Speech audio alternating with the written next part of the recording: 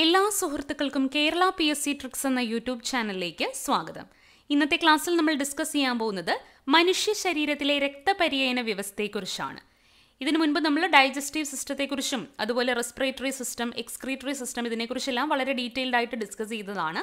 അതെല്ലാം ബയോളജി എന്ന് പറഞ്ഞ് സെപ്പറേറ്റ് ആയിട്ടൊരു പ്ലേലിസ്റ്റിലുണ്ട് ഇന്നത്തെ ക്ലാസ്സിൽ നമുക്ക് ബ്ലഡ് സർക്കുലേഷനെ കുറിച്ച് പഠിക്കാം.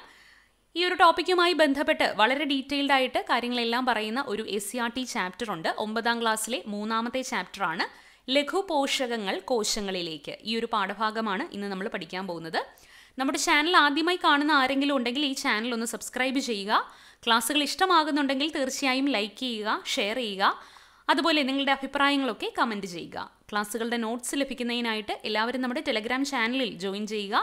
ടെലഗ്രാം ചാനലിന്റെ ലിങ്ക് ഡിസ്ക്രിപ്ഷൻ ബോക്സിൽ കൊടുത്തേക്കാം. ഓക്കെ അപ്പോൾ നമുക്ക് ആ ചാപ്റ്ററിലേക്ക് പോകാം. ആദ്യം തന്നെ പറയുന്നത് രക്തത്തിലെ ഘടകങ്ങളെക്കുറിച്ചാണ്. രക്തത്തിലെ ഘടകങ്ങൾ ഏതൊക്കെയാണ്? രക്തകോശങ്ങളുണ്ട് ബ്ലഡ് സെൽസ് ഉണ്ട്. അതുപോലെ തന്നെ പ്ലാസ്മയും ഉണ്ട്. രക്തത്തിലെ ഘടകങ്ങളാണ് രക്തകോശങ്ങളും പ്ലാസ്മയും രക്തകോശങ്ങൾ നാൽപ്പത്തി അഞ്ച് ശതമാനമാണുള്ളത്. പ്ലാസ്മ അൻപത്തിയഞ്ച് ശതമാനവുമാണുള്ളത്. രക്തത്തിൽ അൻപത്തഞ്ച് ശതമാനം പ്ലാസ്മയും നാൽപ്പത്തഞ്ച് ശതമാനം രക്തകോശങ്ങളുമാണ് ഉള്ളത്. ഇനി അടുത്തത് E D T A ethylene di amine tetra acetic acid. ഇതൊരു രാസവസ്തുവാണ്. ഇതെന്തിനാണ് ഹെൽപ്പ് ചെയ്യുന്നത്? രക്തം കട്ട പിടിക്കുന്നത് തടയുന്ന രാസവസ്തുവാണ് ഇ ഡി ടി എ രക്തം കട്ട പിടിക്കുന്നത് തടയുന്ന രാസവസ്തു ഏതാണ്? ഇ ഡി ടി എ ആണ്. Ethylene di amine tetra acetic acid ആണ്. ഇനി പ്ലാസ്മയെക്കുറിച്ച് ഡീറ്റെയിൽഡ് ആയിട്ട് നോക്കാം. നമ്മൾ പറഞ്ഞു രക്തത്തിലെ അൻപത്തഞ്ച് ശതമാനം പ്ലാസ്മയാണ്. പ്ലാസ്മയുടെ നിറം എന്താണ്? ഇളം മഞ്ഞ നിറമാണ്. ഇളം മഞ്ഞ നിറമുള്ള ഒരു ദ്രാവകമാണ് പ്ലാസ്മ. പ്ലാസ്മയുടെ നിറം മുൻപ് ചോദിച്ചിട്ടുള്ളതാണ്. ഇളം മഞ്ഞ നിറമാണ് ഉള്ളത്. പ്ലാസ്മയിലാണ് രക്തകോശങ്ങൾ കാണപ്പെടുന്നത്. Blood cells R B C W B C ഇങ്ങനെയുള്ള ബ്ലഡ് സെൽസ് എല്ലാം കാണപ്പെടുന്നത് എവിടെയാണ്? പ്ലാസ്മയിലാണ് കാണപ്പെടുന്നത്. അതുപോലെ മനുഷ്യ ശരീരത്തിൽ ദഹനത്തിന്റെ ഫലമായിട്ടുണ്ടാകുന്ന ഗ്ലൂക്കോസും അതുപോലെ തന്നെ amino acids fatty acids glycerol ഇതെല്ലാം കോശങ്ങളിൽ എത്തുന്നത് എങ്ങനെയാണ്? പ്ലാസ്മയിലൂടെയാണ് മനുഷ്യന്റെ കോശങ്ങളിൽ എത്തുന്നത്. അപ്പോൾ പ്ലാസ്മ എന്ന് പറയുന്നത് രക്തത്തിൽ അൻപത്തി അഞ്ച് ശതമാനം വരുന്ന ഒരു ദ്രാവക ഭാഗമാണ്. ഇതിന് ഇളം മഞ്ഞ നിറമാണുള്ളത്. രക്തകോശങ്ങളെല്ലാം കാണപ്പെടുന്നത് പ്ലാസ്മയിലാണ്. അതുപോലെ മനുഷ്യന്റെ ദഹനത്തിന്റെ ഫലമായി ഉണ്ടാകുന്ന ഗ്ലൂക്കോസും അമിനോ ആസിഡും ഒക്കെ കോശങ്ങളിലേക്ക് എത്തുന്നതും പ്ലാസ്മയിലൂടെയാണ്. ഇനി പ്ലാസ്മയിലെ ഘടകങ്ങൾ ഏതൊക്കെയാണെന്ന് നോക്കാം. പ്ലാസ്മയിൽ തൊണ്ണൂറ് മുതൽ തൊണ്ണൂറ്റി രണ്ട് ശതമാനം വരെ ജലമാണുള്ളത്. ഏഴ് മുതൽ എട്ട് ശതമാനം വരെ പ്രോട്ടീനുകളുണ്ട്. അതുപോലെ തന്നെ കൊഴുപ്പ് ലവണങ്ങൾ യൂറിയ പഞ്ചസാര ഹോർമോണുകൾ ഇങ്ങനെയുള്ള ഘടകങ്ങളും പ്ലാസ്മയിലുണ്ട്. തൊണ്ണൂറ് മുതൽ തൊണ്ണൂറ്റി രണ്ട് ശതമാനം വരെ ജലമുണ്ട്. ഏഴ് മുതൽ എട്ട് ശതമാനം വരെ പ്രോട്ടീനുകളും അതുപോലെ തന്നെ മറ്റ് ഘടകങ്ങളുമുണ്ട്. പ്ലാസ്മ പ്രോട്ടീനുകൾ മൂന്ന് തരത്തിലാണുള്ളത്. വളരെ ഇമ്പോർട്ടന്റ് ആണ്. ആൽബുമിൻ ഗ്ലോബുലിൻ ഫൈബ്രിനോജൻ എന്നിവയാണ് പ്ലാസ്മ പ്രോട്ടീനുകൾ. ഇതിന്റെ ഫങ്ഷൻസ് എപ്പോഴും ചോദിക്കുന്നതാണ് വളരെ ഇമ്പോർട്ടന്റ് ആണ്. അപ്പോൾ പ്ലാസ്മ പ്രോട്ടീനുകൾ ഏതൊക്കെയാണ്? ആൽബുമിൻ ഗ്ലോബുലിൻ ഫൈബ്രിനോജൻ എന്നിവയാണ് പ്ലാസ്മ പ്രോട്ടീനുകൾ. അതിൽ ആൽബുമിൻ ചെയ്യുന്നത് എന്താണ്? മനുഷ്യന്റെ രക്തസമ്മർദ്ദം ക്രമീകരിക്കുന്നു. ബ്ലഡ് പ്രഷറിനെ റെഗുലേറ്റ് ചെയ്യുന്ന പ്ലാസ്മ പ്രോട്ടീനാണ് ആൽബുമിൻ എന്ന് പറയുന്നത്. ഗ്ലോബുലിൻ ചെയ്യുന്നത് എന്താണ്? മനുഷ്യനിൽ രോഗങ്ങൾ വരാതെ രോഗപ്രതിരോധത്തെ സഹായിക്കുന്ന ഒരു പ്ലാസ്മ പ്രോട്ടീനാണ് ഗ്ലോബുലിൻ എന്ന് പറയുന്നത്. ഫൈബ്രിനോജൻ ചെയ്യുന്നത് എന്താണ്? രക്തം കട്ട പിടിക്കാൻ സഹായിക്കുന്ന പ്ലാസ്മ പ്രോട്ടീനാണ് ഫൈബ്രിനോജൻ. എല്ലാം റിപ്പീറ്റഡ് ആയിട്ട് ചോദിക്കുന്നതാണ്. ആൽബുമിൻ എന്ന് പറയുന്നത് മനുഷ്യന്റെ രക്തസമ്മർദ്ദം ക്രമീകരിക്കുന്നു ഗ്ലോബുലിൻ രോഗപ്രതിരോധത്തെ സഹായിക്കുന്നു അതുപോലെ ഫൈബ്രിനോജൻ എന്ന് പറയുന്നത് രക്തം കട്ട പിടിക്കാനായിട്ട് സഹായിക്കുന്ന പ്ലാസ്മ പ്രോട്ടീനാണ്. ഓക്കെ ഇനി ഹൃദയത്തെക്കുറിച്ചാണ് പറയുന്നത്. നമുക്കറിയാം മനുഷ്യ ശരീരത്തിലെ പമ്പ് എന്നറിയപ്പെടുന്ന അവയവമാണ് ഹൃദയം. ഹൃദയത്തിന്റെ വലിപ്പം ചോദിക്കുകയാണെങ്കിൽ ഒരാളുടെ ഹൃദയത്തിന്റെ വലിപ്പം എന്ന് പറഞ്ഞാൽ അയാളുടെ മുഷ്ടിയുടെ വലിപ്പമാണ്. ഒരാളുടെ ഹൃദയത്തിന്റെ വലിപ്പം അയാളുടെ മുഷ്ടിയുടെ വലിപ്പമാണ്. ഈ ഹൃദയത്തിന്റെ പൊസിഷൻ എവിടെയാണ്? ഔരസാശയത്തിൽ മാറലിന്റെ പിറകിലായിട്ട് രണ്ട് ശ്വാസകോശങ്ങളുടെയും ഇടയിലായിട്ടാണ് ഹൃദയം സ്ഥിതി ചെയ്യുന്നത്. അതുപോലെ ഹൃദയത്തിന് ഇടതുവശത്തേക്കൊരു ചെരിവുണ്ട്. രണ്ട് ശ്വാസകോശങ്ങളുടെയും നടുവിലായിട്ട് ഇടതുവശത്തേക്ക് അല്പം ചെരിഞ്ഞാണ് മനുഷ്യന്റെ ഹൃദയം സ്ഥിതി ചെയ്യുന്നത്. ഇനി റിപ്പീറ്റഡ് ആയിട്ട് ചോദിക്കുന്ന ഒരു ക്വസ്റ്റ്യൻ ആണ്. എന്താണ് പെരികാർഡിയം എന്ന് പറയുന്നത്? ഹൃദയത്തെ ആവരണം ചെയ്ത് കാണുന്ന ഇരട്ട സ്ഥലത്തെയാണ് പെരികാർഡിയം എന്ന് പറയുന്നത്. അപ്പോൾ ഈ ഇരട്ട സ്ഥലത്തിന്റെ ഇടയിലുള്ള ഒരു ഫ്ലൂയിഡ് ഉണ്ട് അല്ലെങ്കിൽ ഒരു ദ്രവമുണ്ട്. അതിനെയാണ് പെരികാർഡിയൽ ദ്രവം എന്ന് വിളിക്കുന്നത്. എന്താണ് ഈ ഒരു പെരികാർഡിയൽ ദ്രവം ചെയ്യുന്നത്? ഹൃദയം ഇടിക്കുന്ന സമയത്ത് ഈ സ്ഥലങ്ങൾക്കിടയിൽ ഉണ്ടാകുന്ന ഘർഷണത്തെ കുറയ്ക്കുക എന്നുള്ളതാണ് പെരികാർഡിയൽ ദ്രവം ചെയ്യുന്നത്. അപ്പോൾ ഹൃദയത്തെ ആവരണം ചെയ്ത് കാണുന്ന ഇരട്ട സ്ഥലമാണ് പെരികാർഡിയം. ഈ സ്ഥലങ്ങൾക്കിടയിൽ കാണപ്പെടുന്ന ദ്രവത്തെയാണ് പെരികാർഡിയൽ ദ്രവം എന്ന് വിളിക്കുന്നത്. പെരികാർഡിയൽ ദ്രവം എന്ത് ചെയ്യുന്നു? ഹൃദയം മിടിക്കുന്ന സമയത്ത് സ്ഥലങ്ങൾക്കിടയിൽ ഉണ്ടാകുന്ന ഘർഷണത്തെ കുറയ്ക്കുക എന്നുള്ളതാണ് പെരികാർഡിയൽ ദ്രവത്തിന്റെ ഫംഗ്ഷൻ. ഇനി ഇവിടെ ഹൃദയത്തിന്റെ ഒരു ഫിഗർ കൊടുത്തിട്ടുണ്ട്. മനുഷ്യ ഹൃദയത്തിന് എത്ര അറകളുണ്ട്? നാല് അറകളാണുള്ളത്. എപ്പോഴും ചോദിക്കുന്നതാണ് ഏതൊക്കെയാണ് അറകൾ മുകളിലുള്ള രണ്ട് അറകളെയാണ് ഏട്രിയം. ഏട്രിയം അല്ലെങ്കിൽ ഓർക്കിൾ എന്ന് വിളിക്കുന്നത്. ഇടത് ഉണ്ട് അതുപോലെ വലത് ഉണ്ട് താഴെയുള്ള അറകളെയാണ് വെൻട്രിക്കിൾ എന്ന് വിളിക്കുന്നത്. ഇടത് വെൻട്രിക്കിളും ഉണ്ട് വലത് വെൻട്രിക്കിളും ഉണ്ട്. അപ്പോൾ ഹൃദയത്തിന് നാല് അറകളാണുള്ളത്. മുകളിലുള്ള അറകളാണ് ഏട്രിയം എന്നറിയപ്പെടുന്നത് താഴെയുള്ള അറകളാണ് വെൻട്രിക്കിൾ എന്ന് അറിയപ്പെടുന്നത്. ഇതിലുള്ള ഓരോന്നിനെക്കുറിച്ചും ഡീറ്റെയിൽഡ് ആയിട്ട് പറയുന്നുണ്ട് താഴെ. ഇനി മനുഷ്യ ശരീരത്തിലെ രക്തക്കുഴലുകൾ ബ്ലഡ് വെസൽസ് മൂന്ന് തരത്തിലാണുള്ളത്. ധമനി ആർട്ടറി അതുപോലെ സിര വെയിൻ ലോമിക കാപ്പില്ലറി രക്തക്കുഴലുകൾ എത്ര തരമുണ്ട്? മൂന്ന് തരമുണ്ട്. ഏതൊക്കെയാണ്? ധമനി സിര ലോമിക എന്നിവയാണ്. ഓരോന്ന് നോക്കാം. ആദ്യത്തേത് സിര അല്ലെങ്കിൽ വെയിൻ. എന്താണ് ചെയ്യുന്നത്? മനുഷ്യ ശരീരത്തിന്റെ വിവിധ ഭാഗങ്ങളിൽ നിന്നും രക്തത്തെ ഹൃദയത്തിലേക്ക് സംവഹിക്കുന്ന രക്തക്കുഴലാണ് സിര അല്ലെങ്കിൽ വെയിൻ എന്ന് പറയുന്നത്. മനുഷ്യ ശരീരത്തിന്റെ പല ഭാഗങ്ങളിൽ നിന്നും രക്തത്തെ ഹൃദയത്തിലേക്ക് കൊണ്ടുപോകുന്നത് ആരാണ്? സിരയാണ്. ഈ സിരകളുടെ ഭിത്തി എന്ന് പറയുന്നത് വളരെ കനം കുറഞ്ഞ ഭിത്തിയാണ്. അതുപോലെ ഇതിന്റെ ഉള്ളിൽ വാൽവുകൾ കാണപ്പെടുന്ന ഒരു രക്തക്കുഴലാണ് സിര. അതുപോലെ ഈ സിരയിലൂടെ രക്തം ഒഴുകുന്നത് കുറഞ്ഞ വേഗത്തിലും മർദ്ദത്തിലുമാണ്. ഹൃദയത്തിലേക്കാണ് രക്തം കൊണ്ടുപോകുന്നത്. അപ്പോൾ വളരെ വേഗത്തിലും മർദ്ദത്തിലുമാണ് സിരയിൽ കൂടെ രക്തം ഒഴുകുന്നത്. അടുത്തതാണ് ധമനി അല്ലെങ്കിൽ ആർട്ടറി. ധമനി എന്താണ് ചെയ്യുന്നത്? ഹൃദയത്തിൽ നിന്നും ശരീരത്തിന്റെ പല ഭാഗങ്ങളിലേക്ക് രക്തത്തെ സംവഹിക്കുന്നത് ധമനിയാണ്. സിര എന്താണ് ചെയ്തത്? പല ഭാഗങ്ങളിൽ നിന്നും ഹൃദയത്തിലേക്ക് സംവഹിക്കുന്നു. ധമനി ചെയ്യുന്ന അതിന്റെ നേരെ ഓപ്പോസിറ്റ് ഹൃദയത്തിൽ നിന്നും പല ഭാഗങ്ങളിലേക്ക് രക്തത്തെ എത്തിക്കുന്നത് ധമനിയാണ്. ധമനിയുടെ ഭിത്തി എന്ന് പറയുന്നത് കനം കൂടിയ ഭിത്തിയാണ്. സിരയുടെ ഭിത്തി കനം കുറഞ്ഞതായിരുന്നു. ധമനിക്ക് കനം കൂടിയ ഭിത്തിയാണ്. അതുപോലെ ഇലാസ്തിക സ്വഭാവമുള്ള ഭിത്തിയാണ് ധമനിക്കുള്ളത്. ധമനിയിൽ കൂടെ രക്തത്തിന്റെ ഒഴ ഒഴുക്ക് എന്ന് പറയുന്നത് വളരെ ഉയർന്ന വേഗത്തിലും മർദ്ദത്തിലുമാണ്.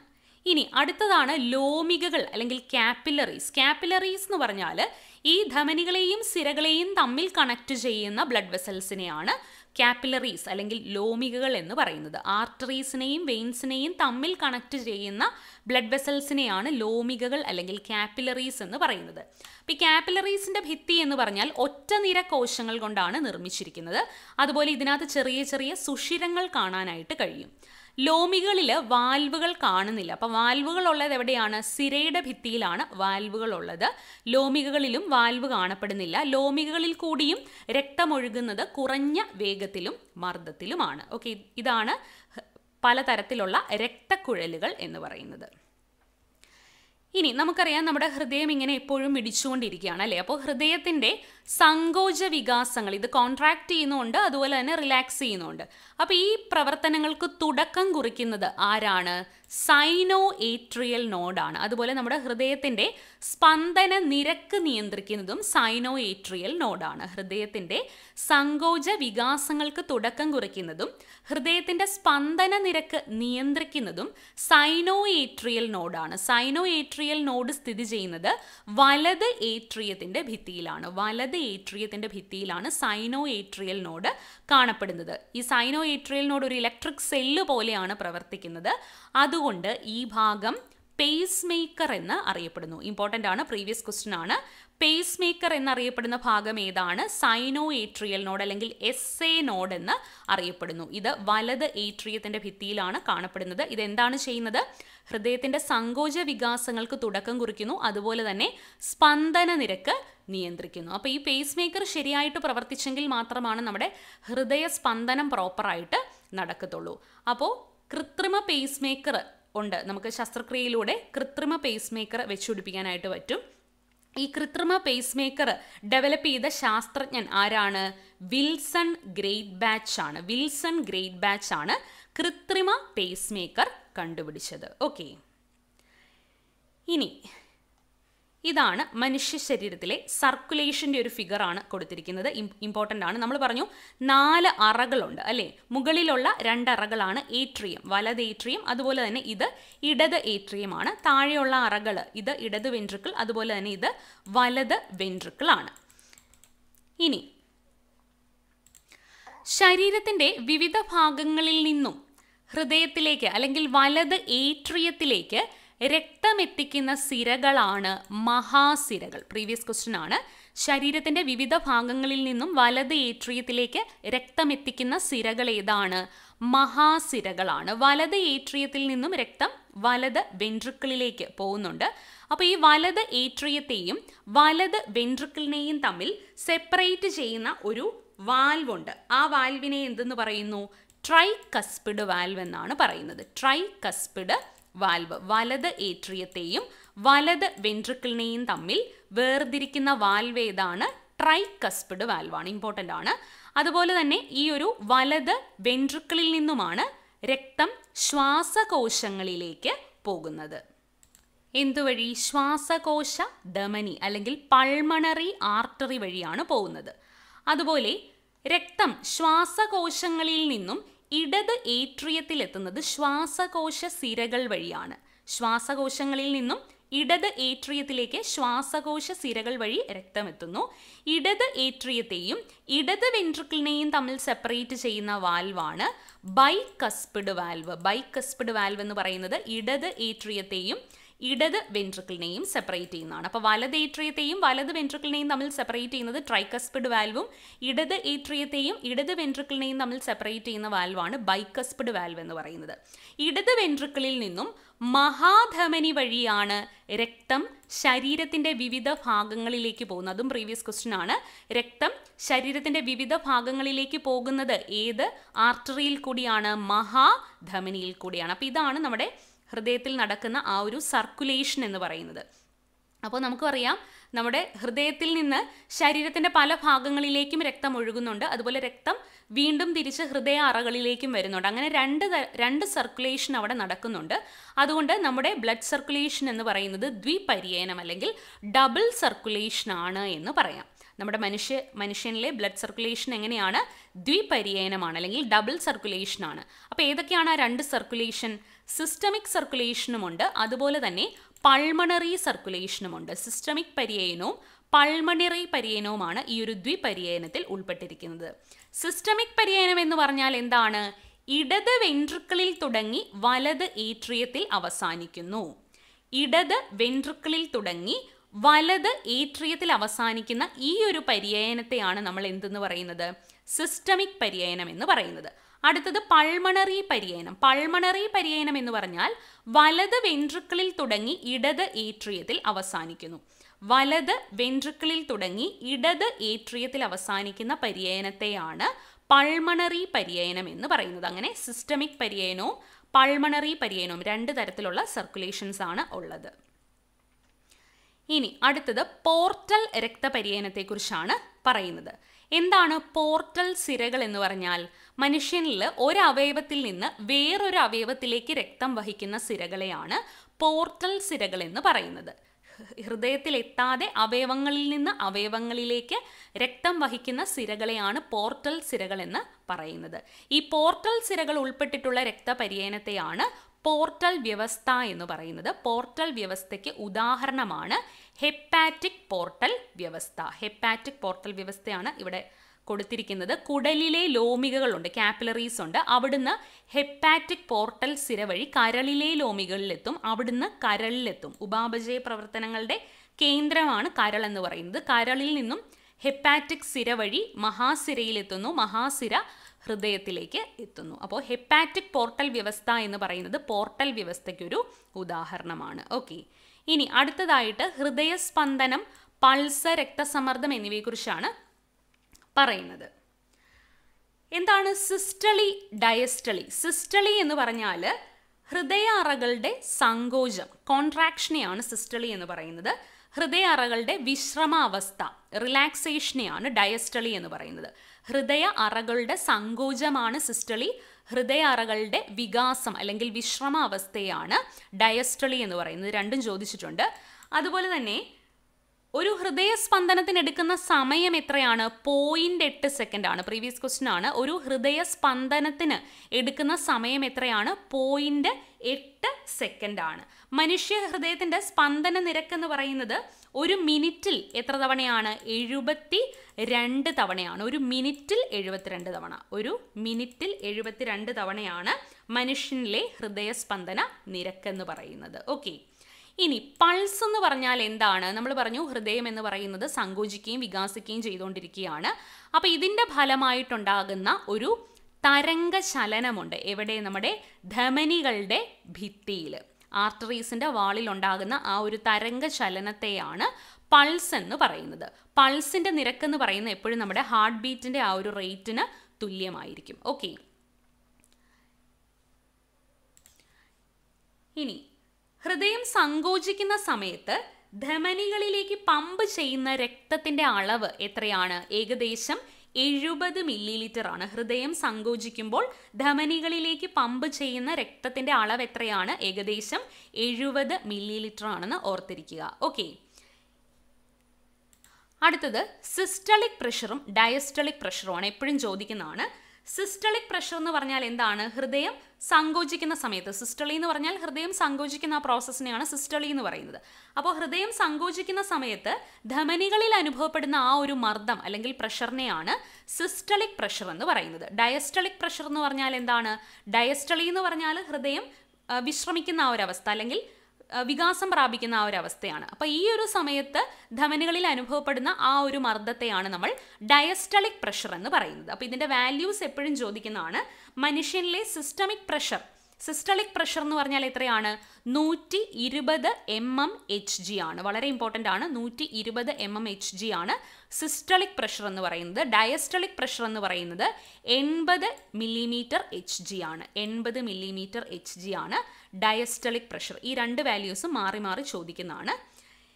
ഇനി അടുത്തത് സ്വിക്മോ മാനോമീറ്റർ നമുക്കെല്ലാം അറിയാവുന്ന ഒരു ഉപകരണമാണ്. ഇതാണ് സ്വിക്മോ മാനോമീറ്റർ മനുഷ്യ ശരീരത്തിൽ രക്തസമ്മർദ്ദം അളക്കാൻ ഉപയോഗിക്കുന്ന ഉപകരണമാണ് സ്വിക്മോ മാനോമീറ്റർ എപ്പോഴും ചോദിക്കുന്ന ഒരു ക്വസ്റ്റൻ ആണ്. മനുഷ്യനിൽ രക്തസമ്മർദ്ദം അളക്കാൻ ഉപയോഗിക്കുന്ന ഉപകരണം ഏതാണ്? സ്വിക്മോ മാനോമീറ്റർ ആണ്. ഓക്കെ ഇനി മനുഷ്യനിലെ ഒരു നോർമൽ ബ്ലഡ് പ്രഷർ എന്ന് പറയുന്നത് നൂറ്റി ഇരുപത് ബാർ എൺപത് മില്ലിമീറ്റർ എച്ച് ജി ആണ്. ഇതും എപ്പോഴും ചോദിക്കുന്നതാണ്. നോർമൽ ബ്ലഡ് പ്രഷർ എത്രയാണ്? വൺ ട്വന്റി ബാർ എയ്റ്റി ആണ്.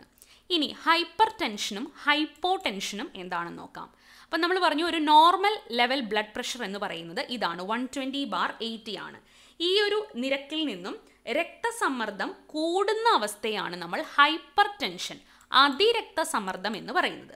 ഹൈപ്പോ ടെൻഷൻ എന്ന് പറഞ്ഞാൽ എന്താണ്? നോർമൽ നിരക്കിൽ നിന്നും രക്തസമ്മർദ്ദം കുറയുന്ന അവസ്ഥയാണ് ഹൈപ്പോ ടെൻഷൻ എന്ന് പറയുന്നത്.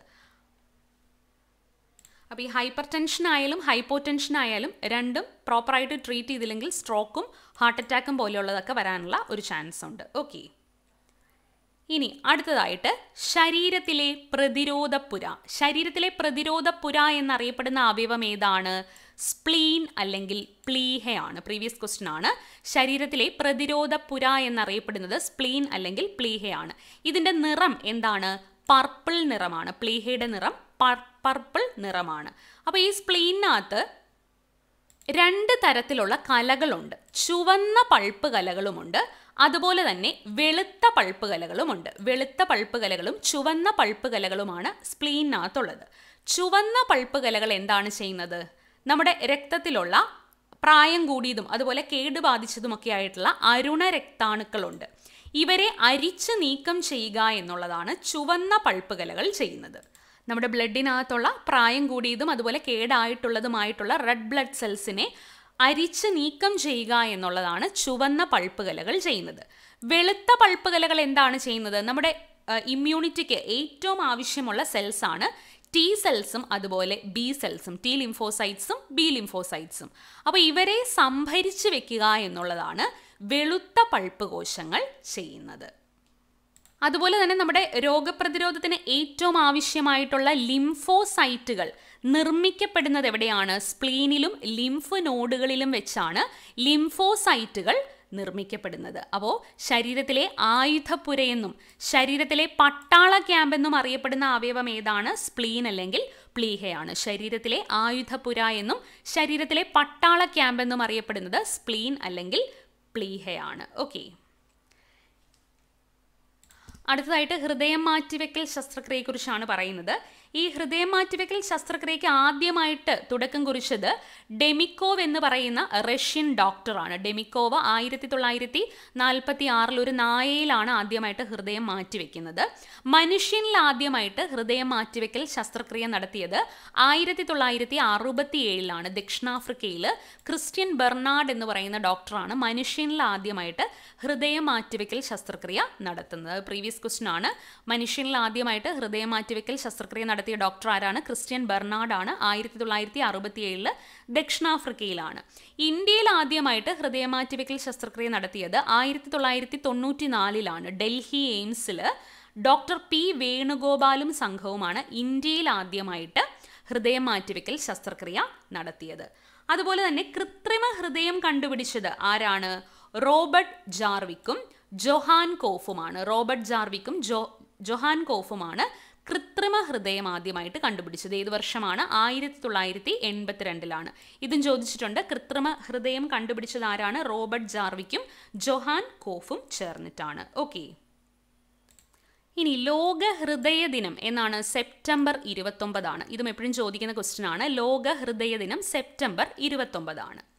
അടുത്തത് എന്താണ് അതിറോസ്ലിറോസിസ് അതിറോസ്ലിറോസിസ് എന്ന് പറഞ്ഞാൽ നമ്മൾ കഴിക്കുന്ന ഭക്ഷണത്തിൽ കൊഴുപ്പിന്റെ അളവ് കൂടുതലായി കഴിയുമ്പോഴത്തേക്കും നമ്മുടെ ധമനീ ഭിത്തികളിലെല്ലാം ഈ കൊഴുപ്പ് അടിഞ്ഞുകൂടും. ഈ ഒരു അവസ്ഥയാണ് അതിറോസ്ലിറോസിസ് എന്ന് പറയുന്നത്. ഓക്കെ. അടുത്തതായിട്ട് സസ്യങ്ങളിലെ സംവഹനത്തെക്കുറിച്ചാണ് പറയുന്നത്. നമുക്കറിയാം സസ്യങ്ങളിൽ ജലത്തിന്റെ സംവഹനം നടക്കുന്നതിന് സഹായിക്കുന്ന വെസൽസ് ആണ് സൈലം എന്ന് പറയുന്നത്. സൈലം ഫ്ലോയം ഇങ്ങനെ രണ്ട് വെസൽസ് ഉണ്ട്. അതിൽ സൈലം എന്ന് പറയുന്നത് എന്തിനു സഹായിക്കുന്നു? വാട്ടർ ട്രാൻസ്പോർട്ടേഷന് ഹെൽപ്പ് ചെയ്യുന്നു. അതുപോലെ ഫ്ലോയം എന്ന് പറയുന്നത് എന്തിനാണ് ഹെൽപ്പ് ചെയ്യുന്നത്? ഫുഡിന്റെ ട്രാൻസ്പോർട്ടേഷനും ഹെൽപ്പ് ചെയ്യുന്നുണ്ട്. അപ്പോൾ സൈലത്തിലെ മൃതകോശങ്ങളായ ട്രക്കീഡുകളിലൂടെയും വെസലുകളിലൂടെയുമാണ് സസ്യങ്ങളിൽ ജലത്തിന്റെ സംവഹനം നടക്കുന്നത്. ജലത്തിന്റെ സംവഹനം നടക്കുന്നത് സൈലത്തിലെ ട്രക്കീഡുകളിലൂടെയും വെസലുകളിലൂടെയുമാണ്. അതുപോലെ സസ്യങ്ങളിൽ ജലം ഇലകളിലേക്കും അതുപോലെ വേറെ ഭാഗങ്ങളിലേക്കും ഒക്കെ എത്തുന്നതിന് സഹായമായിട്ടുള്ള കുറച്ച് പ്രതിഭാസങ്ങളുണ്ട്. ഏതൊക്കെയാണ്? സസ്യസ്വേദനം അല്ലെങ്കിൽ ട്രാൻസ്പിറേഷൻ ഇലകളിൽ നിന്ന് ജലം ബാഷ്പീകരണം മൂലം പുറന്തള്ളുന്ന ആ ഒരു പ്രക്രിയയാണ് സസ്യസ്വേദനം അല്ലെങ്കിൽ ട്രാൻസ്പിറേഷൻ എന്ന് പറയുന്നത്. അപ്പോൾ സസ്യസ്വേദനം അതുപോലെ തന്നെ മൂലമർദ്ദം റൂട്ട് പ്രഷർ കൊഹിഷൻ അഡിഷൻ ഈ പറയുന്ന പ്രതിഭാസങ്ങളാണ് സസ്യങ്ങളിൽ ഇല ജലം ഇലകളിലേക്കും അതുപോലെ തന്നെ വേറെ ഭാഗങ്ങളിലേക്കും ഒക്കെ എത്തുന്നതിനായിട്ട് സഹായിക്കുന്നത്. ഓക്കെ. ഇനി അടുത്തതായിട്ട് ഫ്ലോയത്തെക്കുറിച്ചാണ് പറയുന്നത്. ഫ്ലോയം നമ്മൾ പറഞ്ഞു ഫുഡ് പാർട്ടിക്കിൾസിന്റെ ട്രാൻസ്പോർട്ടേഷന് ഹെൽപ്പ് ചെയ്യുന്ന വെസൽസ് ആണ് ഫ്ലോയം എന്ന് പറയുന്നത്. ഫ്ലോയത്തിലെ പ്രധാനപ്പെട്ട രണ്ട് ഭാഗങ്ങളാണ്. ഒന്ന് സീവ് നാളി അതുപോലെ തന്നെ ഒന്ന് സഹകോശം അഥവാ കമ്പാനിയൻ സെൽസ് എന്നറിയപ്പെടുന്നു. അപ്പോൾ സീവ് നാളി എന്ന് പറയുന്നതാണ് ഫ്ലോയത്തിന്റെ ഏറ്റവും പ്രധാനപ്പെട്ട ഭാഗം. ഈ ഒരു ഭാഗത്തിൽ കൂടിയാണ് സുക്രോസിന്റെ രൂപത്തിൽ ആഹാര സംവഹനം നടക്കുന്നത്. അപ്പോൾ ഫ്ലോയത്തിലെ സ്ലീവ് നാളിയിലൂടെ ആഹാര സംവഹനം നടക്കുന്ന ഏത് രൂപത്തിലാണ്? സുക്രോസിന്റെ രൂപത്തിലാണ്. അതിനോട് ചേർന്ന് കാണപ്പെടുന്ന മറ്റ് സെൽസിനെയാണ് നമ്മൾ സഹകോശങ്ങൾ അല്ലെങ്കിൽ കമ്പാനിയൻ സെൽസ് എന്ന് വിളിക്കുന്നത്. ഓക്കെ ഇത്രയുമാണ് ഈ ഒരു ചാപ്റ്ററിൽ ഡിസ്കസ് ചെയ്യാനുള്ളത്. മറ്റൊരു ക്ലാസ്സുമായി വീണ്ടും കാണുന്നതുവരെ എല്ലാവർക്കും താങ്ക്